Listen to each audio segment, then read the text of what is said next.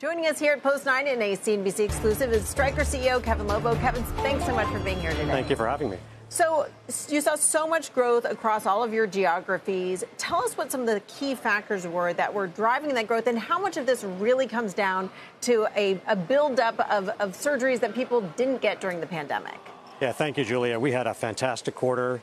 We're firing on all cylinders growth in the U.S., growth in international, growth in procedures that you talked about, but also growth in capital equipment in hospitals because we have such a diverse set of businesses. I would say that the procedures and return to procedures following the pandemic is probably about 150 to 200 basis points of growth. Uh, we grew, as you know, double digit growth. Before the pandemic, we were growing around 8%, 7, 8, so high growth company. But now we've guided for the full year at the midpoint to 10% organic growth. How long does that backlog of procedures that would have happened during the pandemic last for? I think it's certainly all of this year and probably most of next year, potentially longer, as we're seeing aging demographics and really successful procedures. Street seems really interested in, in, margins and how that gets back to how we normalize that trend as well coming out of the pandemic, right?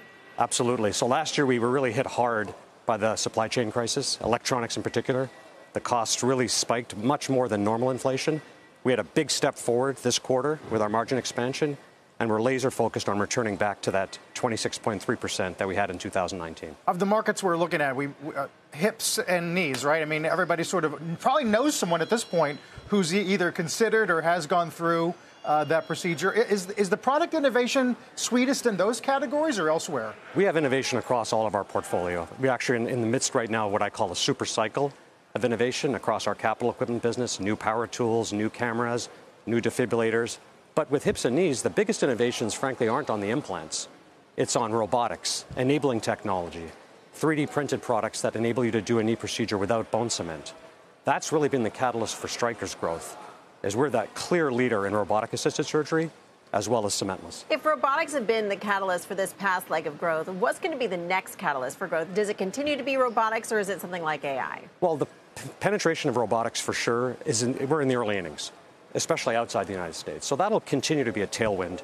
AI will come on top of that, whether it's AI with virtual reality or mixed reality goggles to help see things directly, AI to assist the surgeon as they're doing their procedure, giving them cues.